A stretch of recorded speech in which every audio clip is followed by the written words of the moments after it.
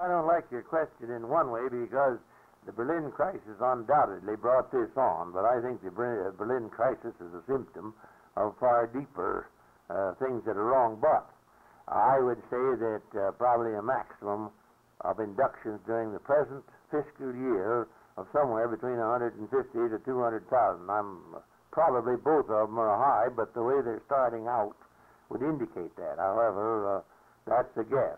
There's 250,000 to raise. There's other ways to raise them. We think that we, of course, we'll have to produce what the recruiters can't.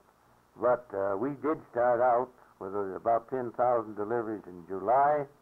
We went to around 12 or 13 in August, uh, just under 25,000 in September, 20,000 in October, and the call for November is 20,000.